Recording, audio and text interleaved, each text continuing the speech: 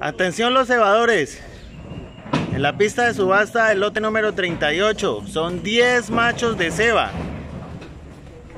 Peso total 3175. Promedio de 317. La procedencia es cimitarra.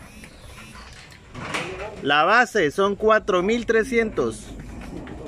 La hora de pesaje las 7 y 19. Abrace a su papá y dígale, padre, ellos se me